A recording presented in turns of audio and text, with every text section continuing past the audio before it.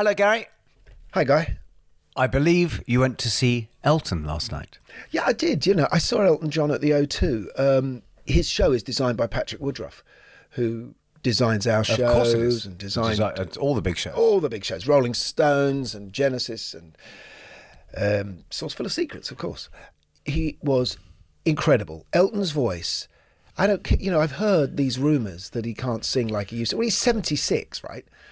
But Yeah. he, he, to me, But luckily, it was always low. Luckily, it was always like he was always a sort of tenor, baritone, wasn't he? I, I think he's singing better than ever. I absolutely loved it. And I mean, just his playing, his chops. I mean, I've been fortunate enough to play on stage with him. So uh, in the 80s, I played in Dublin two nights. Uh, and then I play, played uh, at Wembley two nights. I did Saturday Nights All Right for Fighting, which for a kid who grew up buying those albums, you know, yeah, yeah, yeah. it's pretty sad. But what you realise when you see Elton is his legacy, what the songs he's given the world. Oh my God. Yeah. Dick, you know, it's, it's, it's, but, and the show looks great. Although, like I say, I'm, I have a thing about modern. I've, I should point out, I have actually recorded with Elton um, on the Road to El Dorado um, soundtrack that he wrote. Did you? Was that, was that the, I the was, yeah, I did. was that the soap opera? Oh, no. It could have been. Right. Go on. Um, no, but that thing with big shows, I, and uh, this is no disrespect to Patrick, who is an absolute genius, but it's I think where we are with technology is that big events are just are big events, and it's like whether it's a gig or a kind of an iPhone launch or anything, everything is this well described. Everything looks like Times Square or Piccadilly Circus, or even you, you want to go and see Hockney, you have to go and be immersed in a world of screens of. No, you know, you're, I you're right. Wonder but if the You're yeah. right. You think the performance might suffer. Okay, so there is a distraction level, you know, when the videos are running and they look incredible. You know, and let's not Yeah. forget, you know, Elton's really been involved in modern art for a long time. You know, he collects photographs. That's very true. There's a fantastic, fantastic song where they show lots of Martin Parr photographs of the seaside. You know, we I love, you know, love love his Yeah, yeah. but it does it does take away a little bit from that. But you're filling the O2. You've got to fill the O2 or a stadium. How can you reach the back? You know. Okay, so there's plenty of uh, Elton on the screen playing and the band playing. But I, I'm not sure, you know, whether that's what Elton wanted all the time. I think he really loves his visuals. But yeah, if you want what you're suggesting, you really need to go and see him at the Palladium, don't you? If he ever would. Ever That's the thing, yeah, because it's the thing because it's there was uh, especially when you get to stadium and the O2 is but this O2 is kind of like an arena that's sort of almost like a stadium in terms of playing because when it gets to stadiums there are so few people who can actually I mean you see it when you see the Stones we see how Mick is just trying to reach every person in the stadium all the time you know Yeah, yeah, and yeah, yeah. and which he does but there's whereas people do otherwise you know it's very few you know Bono can do it Bowie of course famously did it it's one Yeah. person who I've really surprised me when did it actually was Elvis Costello. Was when I saw him at the tennis centre in Melbourne years ago, and it, this place is huge, cavernous. You know, Pink Floyd played there, and he just did it with a three-piece, and he turned it into a nightclub. He absolutely pulled you in. That's another, and just made the room tiny. Yeah, yeah. I mean, that's that's that's. I mean, obviously, uh, Elton has a, a, the problem of being sort of sat at his piano. You know, he can't prowl the stage. You know, or he, Yeah, he- yeah. well, he, used, he used to sort of fly. I mean, the other thing that come you come away from from that show is his loyalty to musicians. You know, Nigel Olsson's still on drums. That's You know, right, Davey Johnstone. Davey Johnstone, Ray Cooper, who's godlike. You know, on percussion. Yeah, yeah. There's an album that I've been playing my kids, and I can never remember what it's called because it's a date. It's something of November, so something eleven seventy, and it's it's Elton and Nigel Olsson and his original bass player, whose name escapes me, who passed God. away. Oh, now you're embarrassing me. Yeah, well, the yeah. Twitter will tell us, or Who was or brilliant. Instagram, um, and and it's just the three of them, and they're like, he's 23 years old, and he's playing in a radio station in front of an audience, small audience. Take Me to the Pilot's been written. They do a version of Honky Tonk Women that is unbelievable. And what you realise is, Ah. 23, this much talent, this guy deserves to be a superstar still. Yeah, absolutely. that's all I'm saying, right? What I love, you know that he can't play. He can't play an octave on the piano. Because he's short, stubby He can't hands. reach an octave. Really? That's a, It just goes to show. I think Simply Red had a show designed by Patrick Woodroffe. I'm sure they did. Uh, now, Simply Red, this is uh, going back through the catalogue. Such i mean apart from exquisitely crafted songs but always always superb arrangements and production Yeah. like really really beautifully finished Yeah, you know, yeah, yeah. Well, Stewart Levine produced a lot of them, didn't he? Stewart that's right Stewart Levine, Levan, levine Levine. Thank you. Uh, no, and he, he- you know, he came out of that. That he was an American soul producer, wasn't he? yeah but didn't he but he did culture club as well didn't he No, that's Steve Levine. That's what i said steve Levine, not the same guy Our audience really trust us, you know. no in fact because i know steve levine's brother is david levine the photographer who lives in Are you Brighton. tried to sort of get out of it by going sideways? i thought that was a beautiful bit of tap dancing personally Um, so, so Mick Hucknall, you know, I mean, that boy came along with such an incredible, you know, voice, didn't he? Blue-eyed soul, as they called it. Yeah, exactly. And uh, also, I know, unfortunately, that gig's going to come up, isn't it? Do you know it might come up? but annoyingly, I think he saw the Pistols No, that's what I'm going to say. two He saw- months before me. Ah, yes. I love him already. Let's get him on. Welcome to the Rockonteurs. Okay, guys, I'm ready. That's a big tune for sure. I actually wrote that originally for Tina Turner. Of course, I had gone and found Joni Mitchell down in Florida and brought her back. I've listened to a few of them and they've been really good, man. I've been sitting in the back of the car coming into London. They're brilliant. Thank you guys for still being around, still making music, still being into it, and doing this podcast. It, it's uh, it's fabulous. Well, I get the feeling that us three should go for a pint. That's what I think. I'm in a band now. it's called Roxy Music. You know this thing about the 10,000 hours of experience? Oh, yeah, You the two- can get good at something. When we recorded Arnold Layne, we'd done about 50 hours. The Rockonteurs podcast with Gary Kemp and Guy Pratt. Keep on rocking! Thanks, Mick, for coming on, and uh, congratulations on on on making a new album and uh, and getting this out. And Thank you. Uh, we should start with that really, and how you um, how you put this one together, because I, th- I think it was similar to myself. You used COVID to make music. Well, also similar in theme, the thing of looking at who you are, I think, Gary, isn't it? That's because it's, it's very reflective, isn't it, Mick? Well, the thing was, uh, I made an album before uh, COVID called Blue Eyed Soul that was intended to go out on the road. It was quite up tempo and really designed to be played on a stage. And then the inevitable COVID happened. We cancelled the tour, rescheduled it, cancelled again. And I think we rescheduled it one more time. And and by then we just felt that the album was buried. And wh- why I mentioned that is is that album was effectively a tribute to African American music. Even though I I was the same, Mick, because that album, I'm sorry, because the one thing that comes across from that album is fun. Like you were just Yeah. really, really having fun with album. Everything down to the artwork, the blaxploitation poster look of it. Exactly. We wanted to take it out on the road and be able to play three or four new songs. And it didn't matter if people didn't know them because there was a beat and they could move, you know, they could dance. And effectively, that was a tribute to African American music. People like James Brown, Otis Redding. And even though I wrote the songs, it was kind of in an homage to that. So it got buried because of COVID. And then I, I, am sat there, probably like you, in, in my room, dressing room, bedroom, whatever. And I'm just sort of thinking, well, okay, what makes you tick? You know, who are you then? How do you fit in with the world? As you're looking at this disaster unfolding on television, I'm sat there with an acoustic guitar just strumming away, thinking, well, I'll get better at playing guitar at least.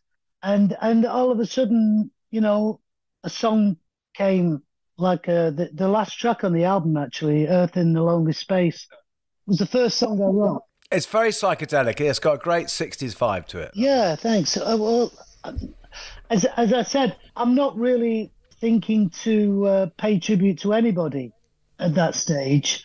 I'm just thinking, well, do something that you want to do. Do sh- show people who you actually are, and forget about paying tributes or doing anything like that. And if that if that comes through as you just described, that's probably because I grew up in that shit. You know, I grew up in the 1960s and lived through probably the one of the great Renaissance periods of, of art.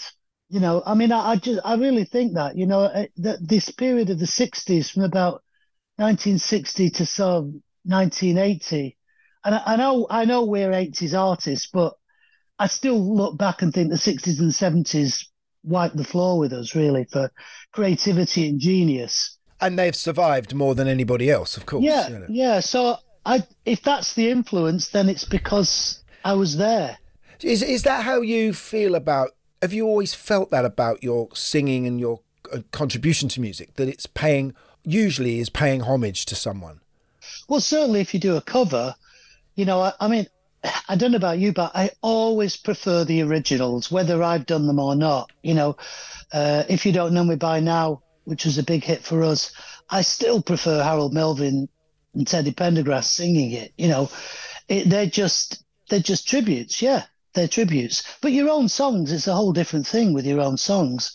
I think what I was trying to get at is that this idea of of you know especially when you first started and when when when I was making records like True you know it was white boys doing that kind of music hadn't really been taken very seriously and and and suddenly we were making it our own but was there a sort of wasn't a guilt about that was there well I think you were massively influenced by David Bowie weren't you yeah, but that period that I'm talking about now was it's it, you're talking more. I'm talking more Al Green, more, more Marvin Gaye. You know that.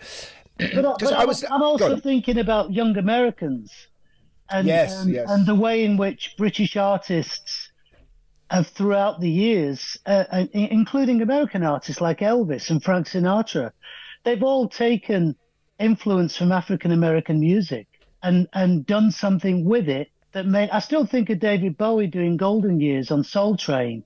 This, this skinny little white boy playing soul music. You know, mm. it's it's it's just something that was around us all the time, and uh, and that applies to all all three of us, I would imagine. But don't you think that thing from the because I always had this theory from the sixties that basically America and essentially Black America would come up with these forms, which would then make their way over to England, and then we turn it into songs and sell it back to them.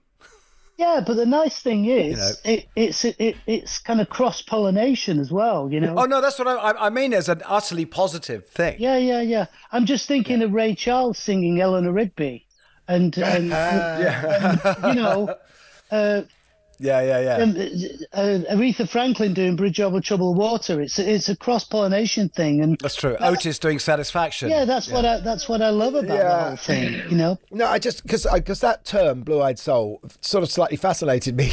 I went down a bit of a rabbit hole on that because I feel sorry for the white boys who sing soul and have got green eyes because green eyed soul just doesn't seem to work. But but but, but it, apparently P- people trace it back to a DJ. I don't know if you know, guys know about this. Called Georgie Woods, who, who was on a Philly radio, and in 1964, he was playing the Righteous Brothers, and he, he he needed to let his audience know that these guys weren't black. So he coined the phrase "blue eyed soul," and it was a kind of code really. But but it was it was interesting because then after that, the people who were called Blue Eyed Soul Singers were like Sonny and Cher and and Tom Jones even. Hall and Oates was where I first heard it in the 70s, Abandoned Luncheonette. Yeah, yeah. I, I, yeah. I, actually chose the title just to throw it back at them, actually, because it is it is termed as being, it was seen as being a slightly derogatory uh, term. But but you know, I mean, I, again, I'll just go back to the Beatles' second album, uh, "You've Really Got a Hold on Me" by Smokey Smokey Robinson. Yeah, yeah, so, yeah, yeah, you know, yeah. The the whole of the the the first Beatles album, uh, well, not the whole of it, but many of those are R and B covers. Arthur, yeah, Ale- yeah. Arthur Alexander. So I, I, I don't think there's a blue-eyed member of the Beatles, but but they're certainly you know edge that way, don't they? That's it. I mean, they were into Tamla, weren't they? Those kids were buying Tamla Motown. Exactly. And, exactly. and, then you've got the then you've got the Who. Yeah. You know, Stax. were also. They, yeah. they were massively into Stax and Booker T and the MGs. You know, I remember when I did these dates with um, with Ronnie Wood when I was replacing. I temporarily replaced Rod Stewart in the Faces for a couple of a couple. Amazing. A, a short period. I saw you, Mick. Real. I yeah, saw well, you on. I was I was working on the Rob Brydon show, and I ah, saw you appear on that. It was great. Yeah. I loved it. I loved it. But the thing, the reason why I mention it is, is that um, the late Ian McLagan and you know, and Ronnie Ah. and Kenny, they were just talking about Booker T and the MGs. They just said, yeah, well, we started out, we started out listening to that, you know, and we thought that rhythm was really great, you know, and, and you could hear it in the music, you know. It's not blue-eyed soul; it's all over the place. It's just completely like a like a beautiful virus, you know, that went everywhere. Do, do you know what I also found out? This is my, and then all my boring stuff is out and gone, right? So we can just get on with the good, good stuff about Mick. But who do you? Does anyone know who the first British artist to sign to Tamla Motown was? There you go. Uh, well, I'd guess Go on. Ar- Ardeen Taylor because he's the only person I know that. Oh, No, you're you're you're, you're wrong. But Is it it's Junior? Arlene Ta- No, it's Kiki Dee. oh, Kiki Dee, God bless her. Yeah, don't Ah. go breaking my heart, Kiki. Oh, and amazing. But Ardeen Taylor, that was a great record, wasn't it? Yeah, there's a ghost in my house. Yeah, that's. a. I used to dance to Oh, that. yeah, yeah. I used to do twirls and never did the somersaults, but those backflips and stuff. Can't do it now, but good then. Because you DJ'd from very early on, didn't you, Mick? Yeah, I used I used to have Did I have a that wrong? Yeah. I used to have a show on Wednesday nights at Manchester Polytechnic um, called Black Rhythms, and that was when I was uh, 20, 21. And uh, the poster is a picture of Charlie Parker on it, and I used to play music uh, as far back as the 40s, like Louis Jordan, some blues Oh, stuff, Sonny Boy Williamson, Muddy Waters. But at the same time, I'd be playing Shalimar and all all manner of stuff, uh, Dennis Edwards and stuff like that. All floor fillers, yeah. with just the insertions of these occasional obscure things that they'd love to dance to as well. So I'd get like 700 people in there a night. It was fantastic. Something that we, we can all, you know, about the 70s and youth culture in the 70s is that we all seem to become parts of different tribes very quickly. Like for me, one minute I was I was a punk, then I, I was a, a Bowie kid, and then I was a soul boy, you know, and and it didn't seem to, none, none the gears never seemed to crash uh, at any time. It all seemed to be really fluid and happened naturally, but it just gave me access to all different genres of music. Well, it's. I think we're all in the mutual David Bowie fan club, and what one of the things that I really loved about um, being a teenager at school uh, was was being literally thrilled to bits to wonder what David Bowie was going to do next. You know, Yeah. right right from the moment where my friend Christian Brumed played me Ziggy Stardust in when I was twelve. He bought Mm. it. He bought it on a Saturday morning. We played it in his house for the first time, and I've always thought with, that he was that kind of guy that could take something, but he always made it his own. You know, he always kind of did something with it that wasn't so obvious, and uh, that that's what I really admire about people that can take musicians that can take something and make it their own. And you don't you don't look there and think oh i know exactly what he's doing but no he's doing something else you know and that that's a, a real challenge uh, to try and do with your work. Yeah, because obviously Bowie went from electronica to soul to you know to to the almost punk as well in those early days of Iggy Pop influence records.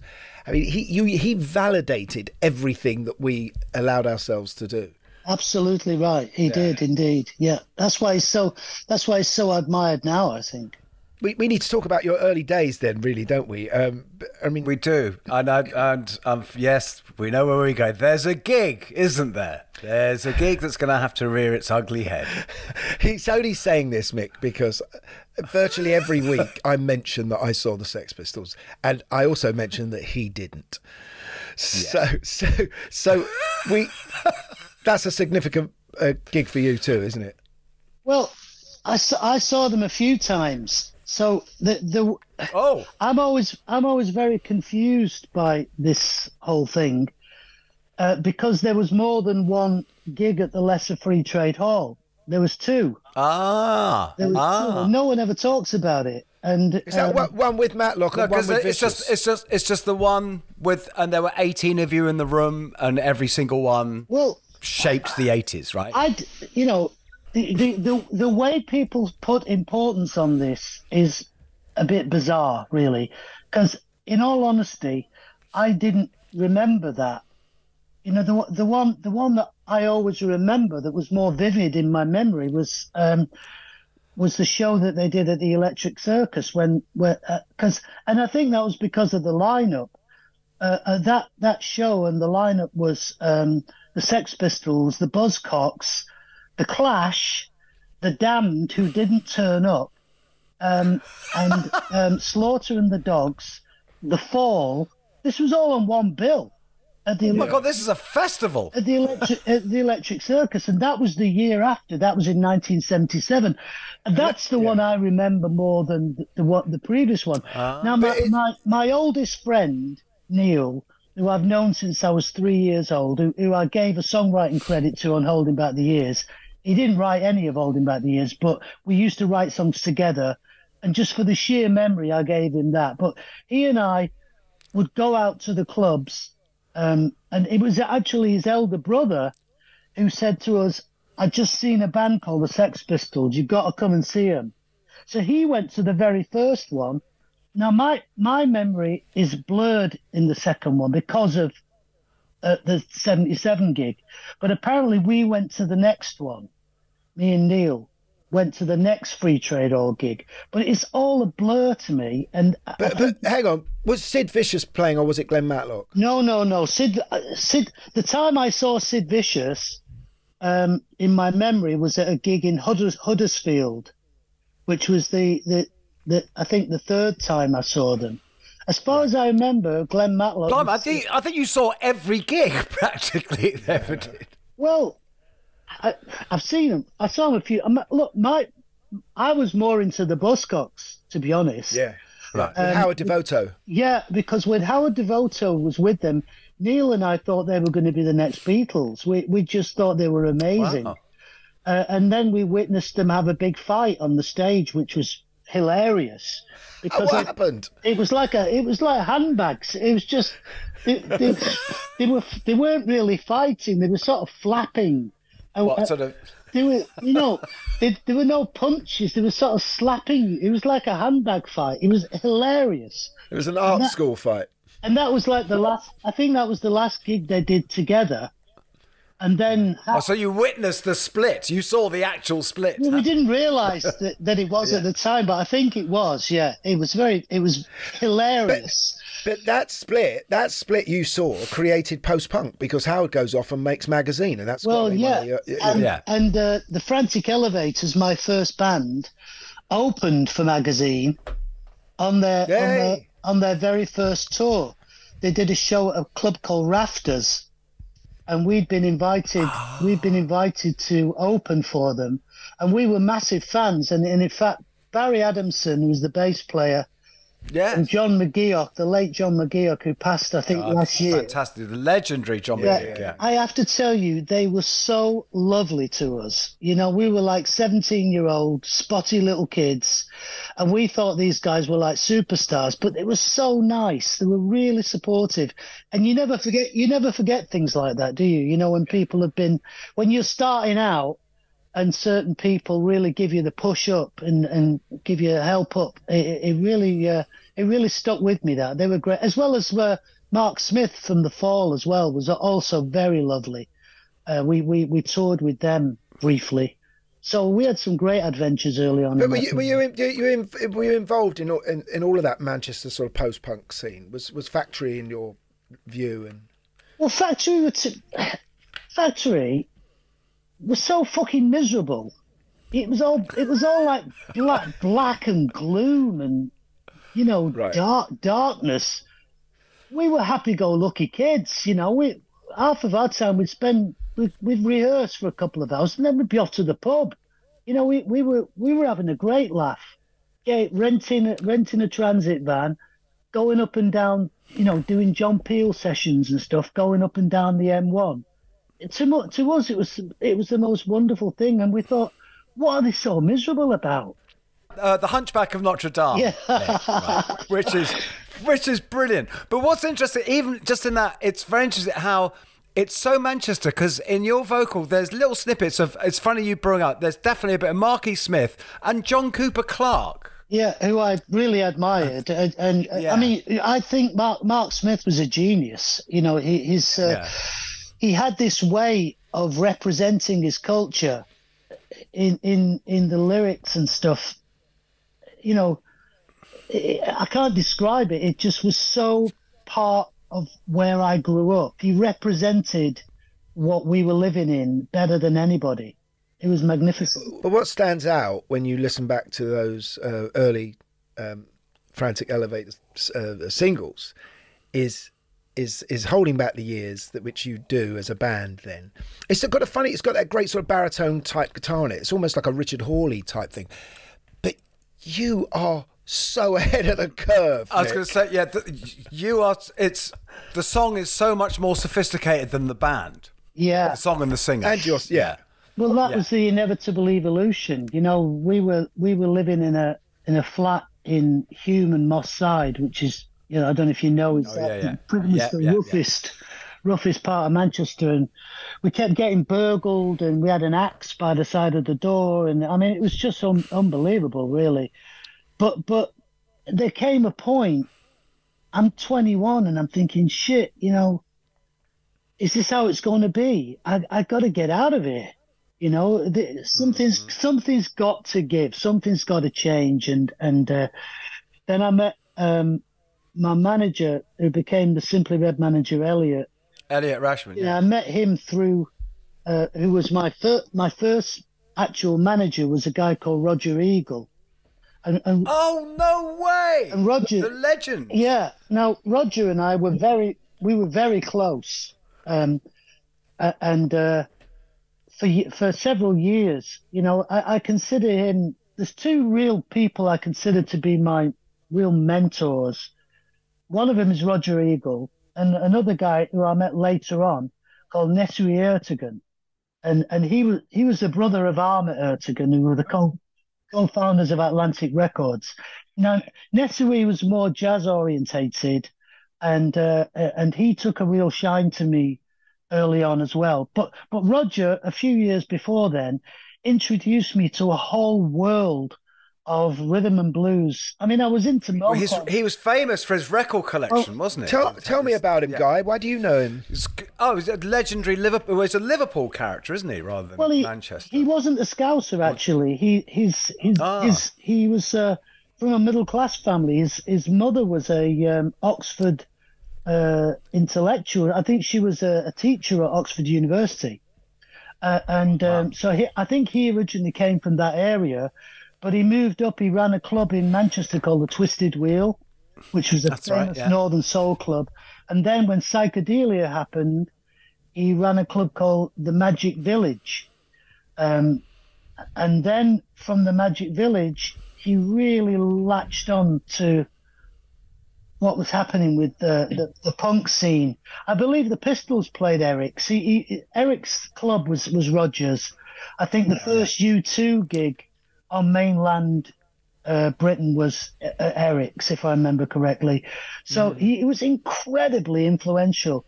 And so when we were starting out, he took a real shine to the Frantic Elevators, loved us, um, would always get us gigs whenever he could, opening for people. And at that time, Liverpool was buzzing as well because I got friendly with Echo and the Bunnymen, with McCulloch and um, Pete Wylie out of Wah!, and they were all they were all going to Rogers gigs. They, we- we'd always be there, and you know playing his amazing jukebox and stuff. And it, I used to spend a lot of time with Roger um, after the shows, and he'd be playing me music. We'd be smoking bits of hashish and listening to dub reggae and Bobby Bland and James Brown. It was absolutely incredible for me. He was It- your it- teacher. Yeah, absolutely, hmm. absolutely. I love him. To, I loved him to bits, but he couldn't manage a paper bag. He was bloody useless as a manager. God bless him, and he knew that. He knew it, and that's when he passed me on to Elliot Rashman, and then my world changed. I just want to step. 'Cause who was who was Elliot doing? Was Elliot was a proper manager? No, when- well, when he Elliot, came Elliot, you? Elliot had managed a band called the Mothmen, who signed to Oh, right. signed to Virgin Records very briefly, but he was an entertainments officer at Manchester Polytechnic. It was the Moth, was Moth, Mothman had nothing to do with Vini Reilly, did it? I Um, to- I think there were. I think there were sort of connections. Yeah, there was a whole little scene of uh, these musicians around around East Man, around Didsbury, and they all kind of knew each other. and I think they were all kind of interconnected. I think the link there, Gary, that you think is that is because uh, I think in the original lineup of Simply Red, you had guys from Durutti Column and the Mothman. Oh, oh, right. That's right. Yeah. Correct. Okay, okay, okay. I just want to step back a little bit, uh, Mick, to you as a songwriter and you writing Holding Back the Years, because it's an interesting story because it, it goes right back to your childhood, doesn't it? Well, um, I'd learned to. I- I was learning to play guitar when I when I wrote that song. Um, I, I I think I knew about three chords uh, when I wrote it. Um, it was the second song I wrote, and I wrote it in my dad's house in my bedroom, and I had no idea what the song was about. That that's the weirdest thing. Sometimes you you, you write almost in the subconscious state, and it's not. Sometimes you look back at the lyric and you suddenly go, "Oh my god, look what I just did." I had no idea. And and, I've sorry because there's there's one line I've got to focus on, which is uh, "Strangled by the wishes of Pater, longing for the arms of Mater," is so unbelievably powerful and heartbreaking. well, I don't. You must have known what you were saying then, or I, don't ju- know. I, I just think I'd probably seen something on the television that that was influential of it. You know, it could have been Brideshead Revisited. It could have been anything. I've no idea. Right. You know, your mother, your, mo- I, I your don't mother left home. round. I don't go round calling my dad Pater. Oh, no, no, uh, no, that's true. No, the wording certainly not. But it, but it, but that does describe exactly. Uh, I mean, it describes where you grew up, doesn't it? I mean, it was, it was well, there was no. you know your house. There was no mate. There was no mother. There was no Yeah. Mater and Pater in East Manchester, but you know, for some No, reason. but uh, no, but in terms of mother and father. Oh yeah, yeah, yeah, right. absolutely. yeah, yeah, yeah. But- I don't mean but- mater and pater. I mean, I have no explanation as to why I wrote Mater and Pater. I guess because they rhymed. I, it's just incredible Yeah. to think that I, I, I didn't sort Can of. I, can I, you don't even you don't even notice that. You just don't even notice that. Can I offer? Can I, I- offer a, a, a, a, a possible reason you did that, Mick? Because obviously this is your your mum left home when you were three, and and and and you were brought up by your dad. But maybe if you'd said, you know, father, mother, or mum and dad, it would have made it too real for you. You Exactly. just No, removing yourself. It's it's almost too obvious, isn't it? That, that you would. I agree. Yeah. I that would that would that was probably my thinking. Yeah, I believe that. So so this so let's talk about the the forming of Simply Red Out because really it's it's is it a band? Has it ever been a band? I mean that's my key question, Mick. You know, or is it really always you? Well, I mean, I could say the same about yourself, Gary. Aren't you the principal writer? Weren't you the principal writer in Ballet? Yes, yes, of course. Well, you know. I think there we share a parallel because I think both of us would have wanted to be in a band. Part of the tradition of, Brit- of Britain, as in our generation growing up, was the Beatles, the Rolling Stones, Led Zeppelin. These were the people we looked up to, and I just so desperately wanted to be in a band. And you know, I started out writing all the songs without really thinking about it because I just naturally, I'm a natural songwriter. That's what I do. And the problem came about when the success happened because my manager is tearing his hair out saying, when are you guys going to write some songs? Mick's the only one that's writing any songs. And it became more and more worrying when they realized that the songwriter makes most, most of the cash and they all start they all they said I've got a studio, got a studio in my in my flat, and I'm still writing songs on an acoustic guitar and a Walkman until about 1995. So hmm. I don't even need no studio, you know. I don't need anything. I, I, in fact, sometimes I don't even need a guitar. You know, I just sing the song into my phone. So, so, but the bottom line is this: there was no other songwriters in the band and I got singled out more and more and more to the extent that they began to even resent me because I was writing songs. I mean, how fucked up is that? You know. so you know, I walk in the room and there's silence, that kind of shit, and uh, I just thought, Oh. this is not, this is not where I des- not what I deserve, and it's not where I should be. So, in essence, Simply Red is a vehicle for my songwriting and it wasn't out of choice. That's how it evolved. I had no say in it. As I said, the manager of the band, Elliot, was trying his best to encourage the rest of the band to write songs. But if it was so easy, we'd all be doing it, wouldn't we? It's not. It's not. Songwriting is, is a gift in itself, and I'm very lucky to be able to sing and to write songs, and that's the way it is. Was there a thing where it came to a head with the first lineup, or was there a sort of Oh, gradual it- thing? that was replacing? that was what that was actually quite amusing because um, in the late eighties, slapping on stage. my no. my, uh, my manager's lawyers said to them, if you don't change the contract, Mick's lawyers are eventually going to recommend to him that he sues you for mismanagement, and so they acted upon their advice of their own legal team, not mine. And they came to me and said, We have to renegotiate your deal because you're doing all the work and they're getting equal shares and it's not fair. And sooner or later, you're going to sue us for mismanagement. And that's how it evolved. So by, by the time I came to write the album Stars, that was just before then was when the renegotiation happened. And, um, you know, I, I was very romantic. In some respects, I still am. I just wanted to be in a band. I thought John Paul, mm-hmm. George, and Ringo. You know, but where was my John? Where where were they? They were they weren't mm-hmm. there.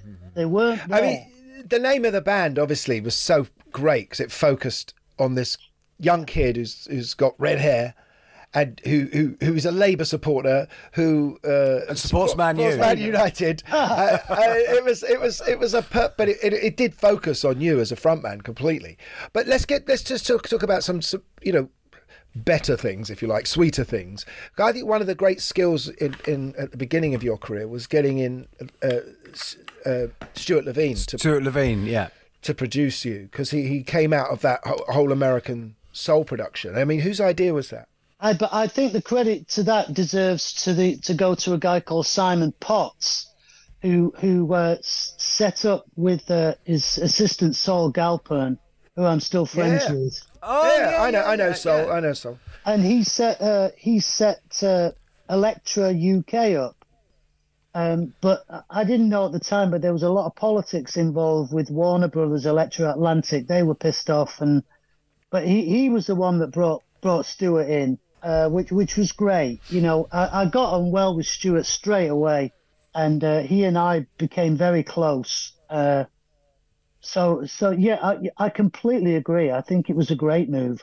Although although actually when we made Picture Book, we switched producers for the second album because we didn't think that the first album represented how we sounded live and uh, you know the uh, particularly the rhythm section of the band of Simply Red at that time, bass player and drummer, weren't happy with the the sound of Picture Book, and um, I kind of felt similarly, and we were wrong.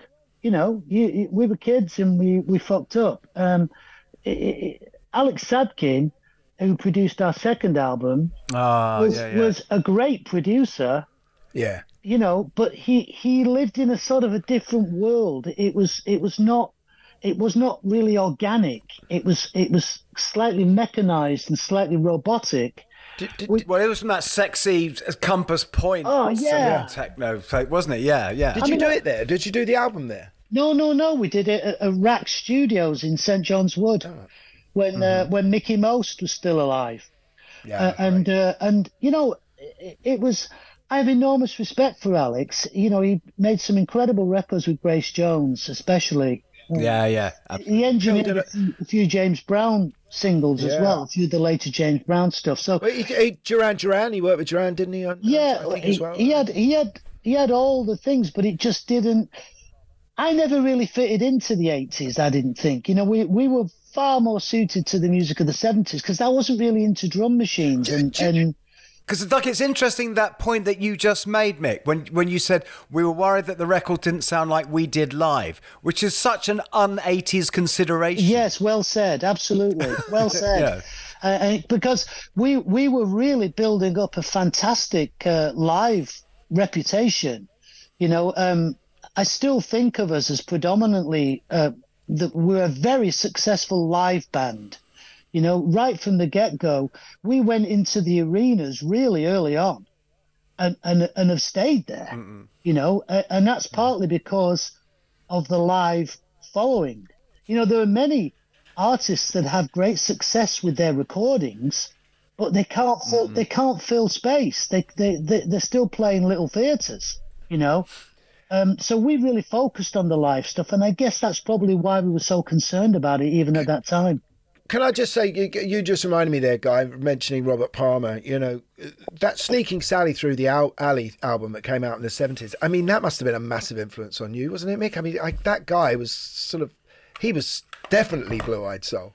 I, I, you must forgive me. I, I was not familiar with Robert Palmer's work at all, not not even at all. The the, the first thing I ever heard by him was that uh, the one with the fantastic video. Um, yeah, yeah, yeah. Oh, it, Uh, It's to love. Wow. I didn't know him before then. I think the the thing was then, I think I was like some kind of um, religious purist. I was completely, Yeah, yeah. I was completely immersed in African American music.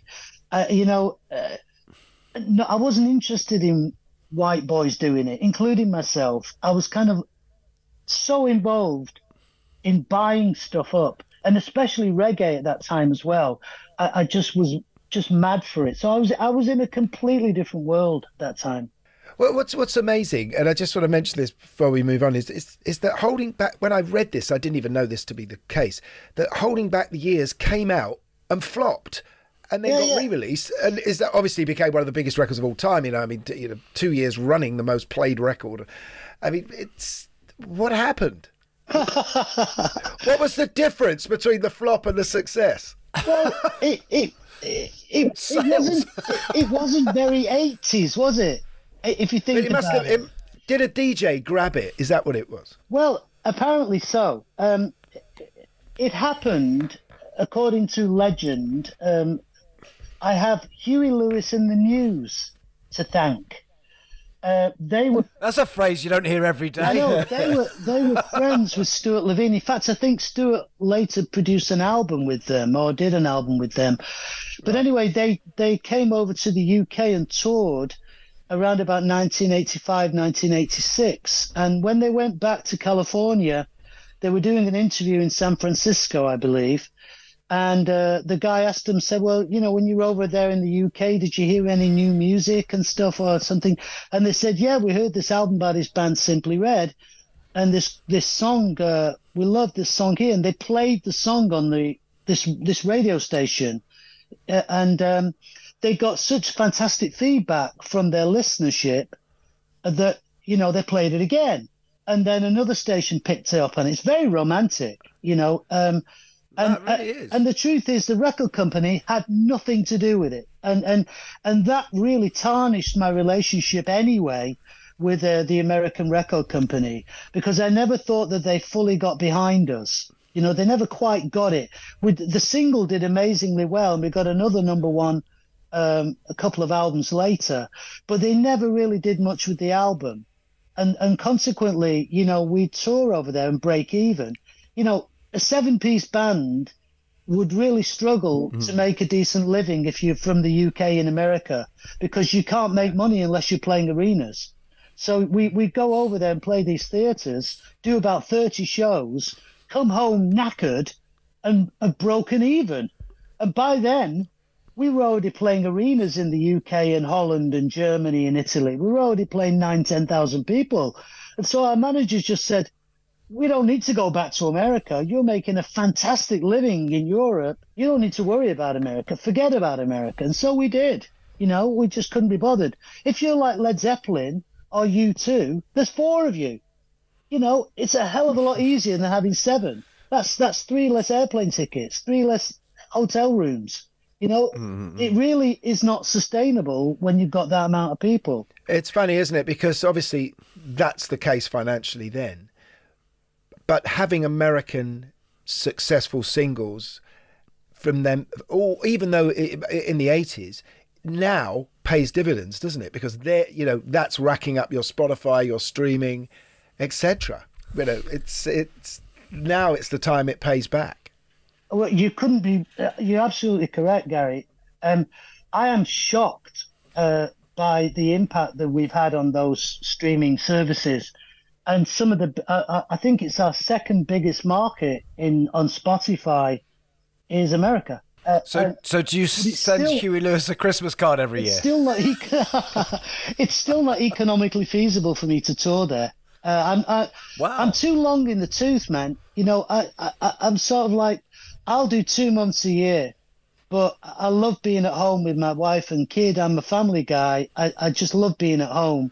You're not going to get me out for more than two months a year, and so you, you can spend you can spend three months just touring America. You know, uh, so that But you, you've always been very. Your shtick has always been very European, anyway, hasn't it? yeah, I, Which is. I, I, I've always thought being big in Europe is better than being big in. But I'd much rather have to slog around Europe once a year than slog around America. Frankly, Well, you know, slogging around Madrid and Barcelona. that's not. That's perhaps. Yeah. Well, exactly. Slog was the wrong word. Slog was the wrong word. I, I, I, I'm with you. It's a, it's an Yeah. absolute delight. You know, we- Western. Exactly, because you're always somewhere. There's always something, you know. Guy and I were on tour together last year in Europe. We Yeah. did virtually every country in Europe, and uh, but I think what that really meant to us, Guy, is we, we visited every gallery and cathedral. Every Exactly. museum, every, Did a- yeah, yeah, Exactly. exactly. That's exactly how I feel about it. Western Europe is relatively small compared to the United States, but the cultures, the variation in each of the countries, even if they're members of the EU, they still have the originality. And I get such delight out of performing uh, and being in those cities. Like, as you just said, going to a gallery, just walking along a river, whatever. I'm happy. I'm happy. Exactly. Because I must say, um, Mick, you were the first. I remember when Stars came out, right? Which were, you know, enormous album. What was so nice? You said as one of the things about it. You're the first person who I ever heard sort of say public out loud, as it were, that one of the things it was about was what a great thing the European Union is. And I just remember thinking, yeah, God, yeah. I hadn't really thought about that. Well, I just thought it brought people together, Well, absolutely. and it did. Uh, you know, uh, but let's not even go there. I don't. Let's not go there exactly. I I'll don't tell you where we can go. It was a little, pos- just a little positive. Move I'll on. tell you where we can go. Uh, is is is during this period as well. You started writing with Lamont Dozier, and I just wanted to know how that was for you to walk into the room and see him there, Yeah. and what was the process. Well, that was one of the great thrills of my career, I have to say, um, and that and that happened quite early on, actually, because I was under such pressure uh, to write songs, as I said, because no one else was doing it. When we came to the end of the Picture Book album, uh, we were still touring, and I was supposed to get together a whole album of songs by myself, effectively. And, uh, you know, it was still relatively new to me, songwriting. You know, I, I was getting good at it, but I, I still had a lot to learn. And uh, through the wisdom of Stewart Levine and my manager, Elliot, we, Stewart was, was, uh, Stewart actually produced that wonderful song by Lamont, Going Back to My Roots, the original version of it. so good, yeah. so Um, good. Oh, and it's yeah. magnificent. I don't know if you've got the 12 inch single, the extended have. version. It's absolutely glorious, you know.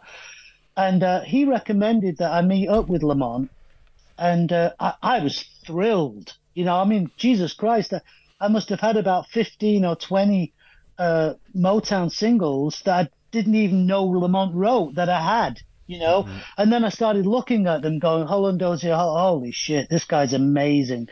and I got the chance. And so um, one morning in Los Angeles, I, I got in a cab, went down to Lamont's home in Sherman Oaks, California, uh, which I, I always thought was very funny because I had a Lenny Bruce sketch um, about this uh, place in Sherman Oaks was where all the Jewish people lived in California.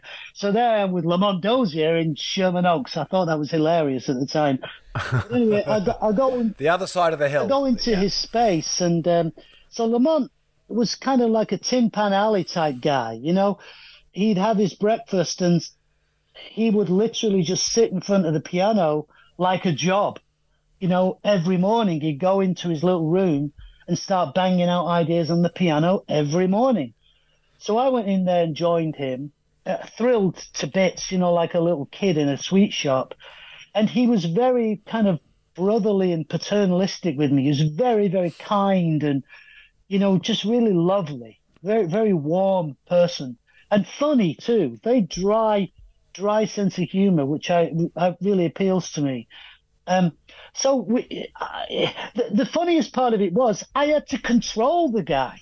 He, he, he was like like a machine. I've got that's a great idea. That's a great idea. And as, as I've got the tape recording, pressing the thing, he's moved on to the next idea. I said, wait, wait, slow down. he goes, come back, come back, come back here. Yeah, repeat that, do that again, do that again. And so he gave me about sort of 20 bars of a, of a riff that I'd record, and then there'd be something else. So by the time I walked out of the of his place after two or three hours, I had about sort of it was a, a complete mess on my cassette machine. It was just all there was like five or six ideas, no structure, no lyrics, but just this a lot of melody and a lot of riffs. And um, out of that, And those chord, but his chords are amazing. yeah, yeah, yeah. So Yeah. I then went away and created songs out of them, effectively. Uh, and we did two two of his songs are on the the second album, the Men and Women album, Infidelity, and uh, a song called Suffer. And then the best part came when I did another two songs with him on the New Flame album, the third album, which was one of my favorite songs we ever wrote together called You've Got It. And Yeah, which is yeah, yeah. a really beautiful kind of soul ballad. Um, and that was a delight.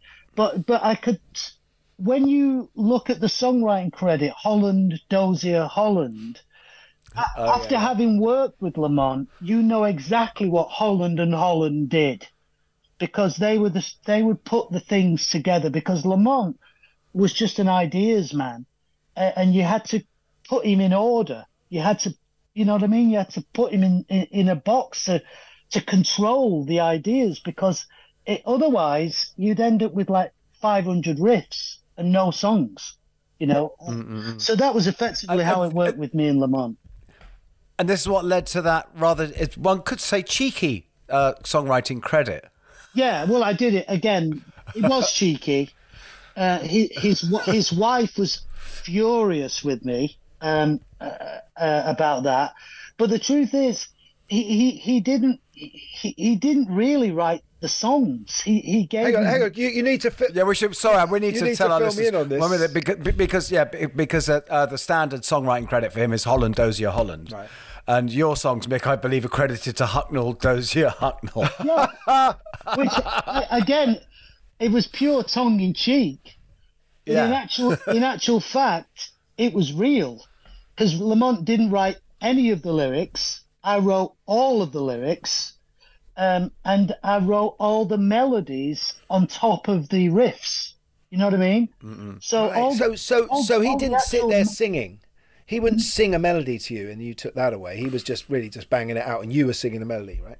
Yeah, uh, well, he, he did a little bit. Um, I remember on the song Infidelity, he was a, you know, it's a bit like that, you know, but I had to kind of put the structure together.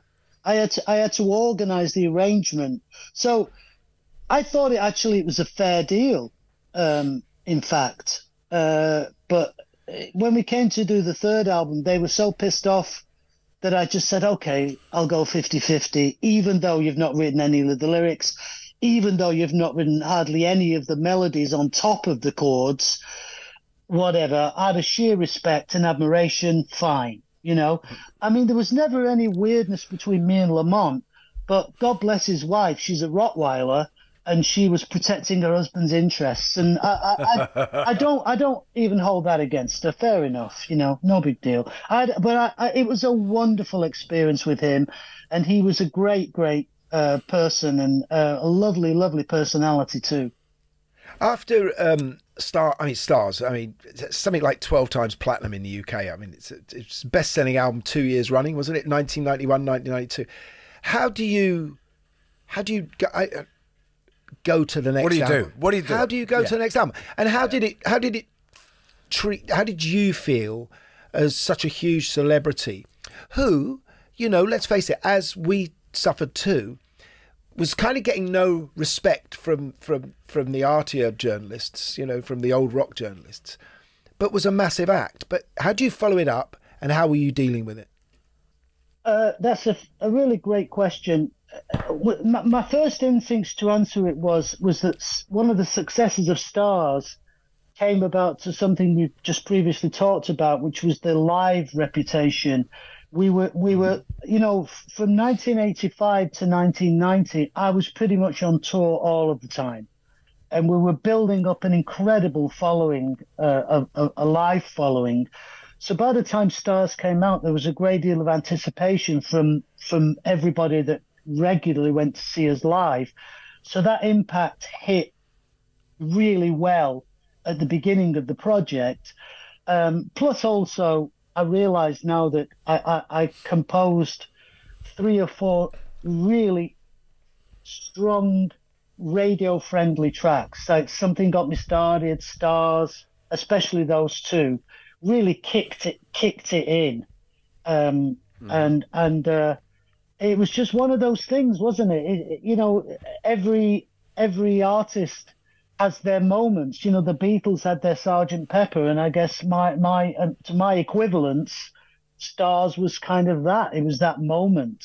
You know, I suppose you'd say that with True, uh, and Yeah. that and that time with yours, and you you have to kind of surrender to it. I think you know you can't just start resenting it, resenting your own success. You think, okay, that was that was the moment. You know, it doesn't mean to say you have to stop. You still keep trying to do it, but I just thought, holy shit, how am I ever going to follow that? You know, um, especially there as a- especially as we were still touring. You know, we didn't stop touring till the end of 1992. We toured Stars for two years, uh, and and then I had to sort of I was knackered, uh, and I came home and thought, well, I better I got to start writing songs, you know, and um, it just was incredibly challenging. But it feels like it feels like the eighties went up till about ninety three, and I would present Suede as being like the band that came along and invented the nineties, and it sort of happened, you know. And for you, being a Mancunian with what's coming next, you know, with with with uh, with Britpop and Oasis, was Well, I, I- actually I see that sli- slightly differently. I, I'm quite unashamed of the mainstream. I thought that the shift uh, in the '90s happened with Take That. That that that that that, that was the that was to me where I thought, oh, a new generation are coming through here. Um, I'm not the new generation anymore. I'm now establishment. And then this kind of cute little boy band turns up, and uh, I've got uh, and they've got a really good songwriter in Gary Barlow. So, uh, you know, I know that the media and the hip side of the 90s wants to talk about Oasis and Blur and and Suede whatever. But I looked at I looked to take that and thought, well, that's that's a mainstream thing that's really taking off in a big way. So while I fully acknowledge what you're saying about Suede and Oasis and the importance of that, it's the way in which people eulogize in Manchester about factory records. You know, like like it's some kind of holy grail. But they're still not sold that many albums, and they're still not that big globally. But the media talk about them like they're the biggest thing on planet Earth. You know, mm, so mm. fair play to them, good luck to them. But realistically speaking, I live in a mass media world. I live I live with nine thousand people in an auditorium. I don't live in a little club with two hundred fanatics. you know what I mean? So I, I just felt it was more. That's you told, Gal. That's you No, told, he's right. And, uh, ta- talking of which, because we because I went to see Elton John last night, and we mentioned uh, Patrick Woodroffe, who designed his show earlier. Oh yeah. Pat, Patrick Patrick worked with you, didn't he? Did simply He Red? did, yeah, he did, and uh, another guy. They did the stars and the and the lights. In fact, it's funny you mention Elton John because um, when we had the enormous success with Stars, uh, I think I was at some sort of party. Well, I was definitely at a party. And Elton was there, and he said he said to me, he says. You must have been devastated. I couldn't. I couldn't figure out if it was a bitchy comment or a nice comment. I was never entirely sure. But he said you must have been devastated when Stars didn't go in America. And I thought, well, yeah, I kind of was, but I'd still be touring there if I did. And I sort of thought to myself, no, I don't want to tour there anymore. I'm done. You know. So at the same time, I thought it was a bit of a catty remark. but nevertheless, it was true because it didn't go in America. And uh, of course, since now it's it's it's very popular in America, but at that time it was very upsetting when you'd done something that was so incredibly successful everywhere except America. You know, you? Yeah, that was when was this? This was about the, this when you had your first big lineup change, wasn't it? Is this when this when Gota came into the band? Yeah, this was this was my management's kind of godfather moment. You know, uh, it was it, it it didn't really come from me. It came from, as I said to you earlier, it came from them. The night of the long knives, where there was Fancy a drink? There was like a reality check. No, the Gota actually is a very interesting case because uh, another band that I thought shaped the beginning of the '90s was uh, Soul II Soul. Uh, Yeah. and that that first Yeah. that first track, "Keep On Moving," really hit me because it was the first song. It was the first time I'd heard drum programming that sounded organic, and you know it got over from that '80s clatter with that massive snare drum. You know, so many of those like, '80s records they go with this backbeat of the snare, and for the first time, with the work that uh, they were doing, it felt really soft and round and sexy and sensual. And it was the first time I'd heard drum machines sounded like that. And I said to Stewart Levine, find out who does that stuff. Find out who's doing the programming for them because I want to work with them. And I'd already become friendly with Nellee Hooper, who was involved with them. Who was, who was immensely talented, did, did a lot of great work at that period. But the other guy that did it with him was Gota Yashiki. And uh, Yeah, I, I worked with Gota for years. That's why I bring it up. oh, How did, where, where did you work with Yeah. him, Guy? I did all sorts of projects with him in London. Whether he- the Japanese band he was in at first, I'll tell you. Here's the funniest one: was at the end of his career. Sorry, little sidebar here. At the end of his career, Gary Lineker went and played in Japan, and and Gota made his football record for Japan, ah. which I played on. And the thing is, for all his many talents and his fabulous worthiness of character, one thing Gary doesn't have is any musical talent ah. at all. So this entire record, which was based around Gary Lineker, all Gota could get out of him was him saying one, two, Are- three. Are go." you saying he's not as good a singer as Glenn Hoddle? No, but so anyway, uh, t- we ended up we brought Gota in as a drum programmer. So we orig- our, our our original drummer was still in the band at that time, and we went over to record in Paris. Um, and uh, Marconi? I can't remember to be honest. But the uh, the Gulf War happened all of a sudden. The hotel that we were staying in on that street was the Israeli tourist office, the Iranian and Iraqi tourist office, and they shut down the street with all these um, policemen, and it was like we were we were working in a fucking war zone, you know, and uh, so we ended up moving uh, from Paris to a place in outside of Venice called Villa Condulmer. But anyway, what happened was Gota came in to do the programming and then just casually announced, just, oh, I play drums as well. And I'm like, oh shit. He, he, so to get that sound, he, he programs and plays the drums. So that put me in a very, very difficult Yeah. position with my original drummer who'd not taken the time to do any programming. He didn't learn anything about it. He was just a drummer at that time.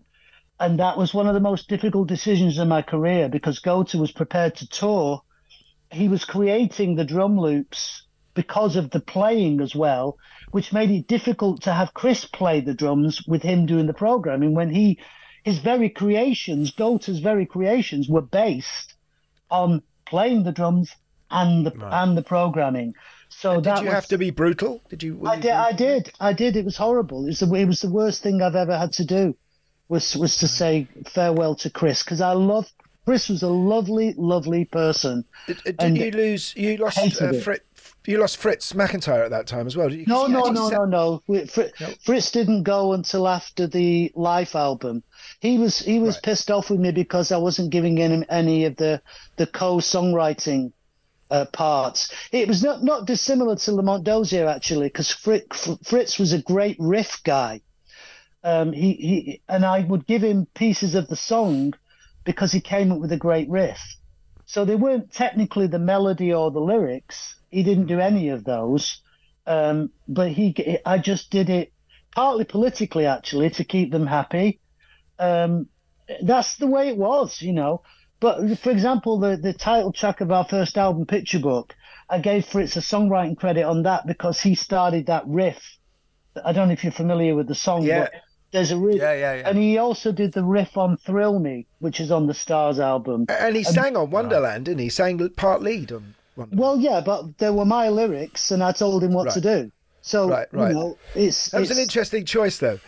yeah, I just thought it added a, it was like a good diversion and uh, it worked really well. He was a fabulous musician, but again, he wouldn't explore the technology. He he was like a pianist. He was a piano player, and he had to have a he had to have a keyboard tech to take care of all the sounds and stuff. He wasn't doing that himself. And I thought at the time, guys, come on, raise your game, get get into mm-hmm. stuff. You know, start expanding your horizons. You've got to keep going. You can't sit back on your laurels. You've got to fucking push. You know, and I still feel like that. You've got to you've got to keep moving. You can't just sit back and go, "I've done it now." Uh, I don't want to live like that. I want to kind of keep having a good time.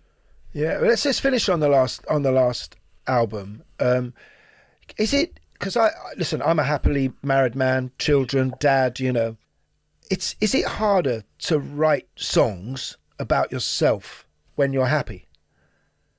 Well, th- these songs are not mu- are not about. A lot of them are not about myself. Um, actually, I don't want to be disagreeable, but they're not. No. A, a couple of them are actually stories. Uh, one of them, it wouldn't be me, is about a girl that's been trafficked and uh, is ashamed of her past and won't commit to this guy that's crazy about her. And all his friends keep saying, "Leave her alone. She's bad news." And, and he won't give up on her. So it, it's not always about personal stuff, but what, m- one or two of the songs are.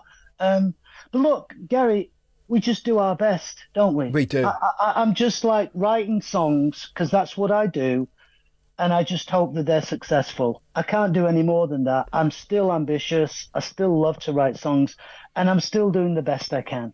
Yeah, you got, and you certainly you got it's a proper old tour you got lined up this summer, isn't it? That's a- Um, those are fabulous European. I think we're playing one of those, Guy. I think I recognise Yeah. a couple of those because Guy and I play with Nick Mason. We were on the road doing that Saucerful of Secrets show, and um, and and I see you're doing some outside out, outdoors in Italy. Uh, Well, I. I hope we cross paths. That'd Yeah. be great.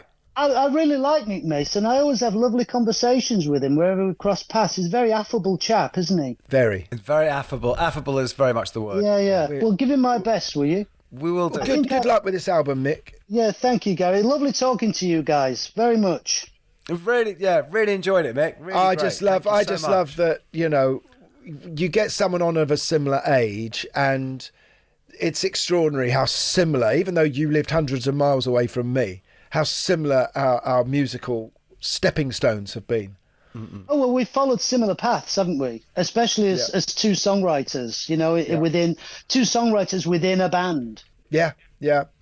Well, Good luck with the tour. Good luck with the album. Thanks, and thank you so much for coming on. Thanks so much, man. Really, I hope we bump into you. All Yeah. the very, very best. Thank you, Guy. Lovely talking to you. You take Cheers, care. Yeah. All the best.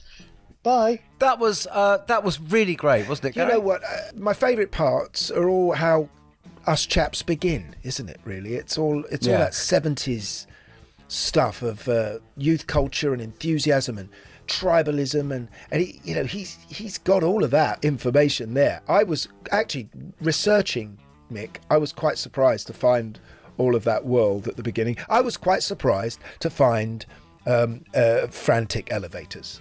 To be honest. Oh, I wasn't. Well, the the only question we didn't ask, which I did want to ask, which is, is that the frantic elevators were actually going for seven years, which when at that age, that is an eternity. That's right. You know what I mean? It's like plugging away for seven years, man, and then finally getting that song, and then Bailey. That's right. and, and actually, first time Take That has ever been mentioned on the Rockonteurs. Yeah. Um, I have a theory about that. you don't think they're going to be the new prog? No, do you? I do have a theory about that period. um, that early 90s period. And I'm glad that Mick brought it up. I might save that theory. We'll bring it out on another intro. S- save your thing. Yeah, I, I, I often wonder because I, I know Suede kind of tend to come up now as a sort of this sort of precursor. To, I think Suede are kind of viewed. They're like they are to Britpop what Eddie and the Hot Rods are to punk or Doctor Feelgood. No, you're absolutely right. And if you want to hear more, you can go and listen to, to Bernard uh, on a previous episode, can't you? Talking talking about that very band, uh, Suede. Um, anyway, uh, we'll have someone uh, fantastic on next week. And thank you so much to Ben uh, Jones, our producer, for Gimme Sugar. And uh, thank you so much for you guys for listening. We really appreciate all your comments that you leave on social media. It's so important to us, isn't it, Guy? It's so important, Gary. Is that the sort of response you wanted? right, it is. So, um, and- no, it is. It absolutely. so until then, it's good night from me. and it's good night from them. Rockonteurs is produced by Gimme Sugar Productions for Warner Music Group UK.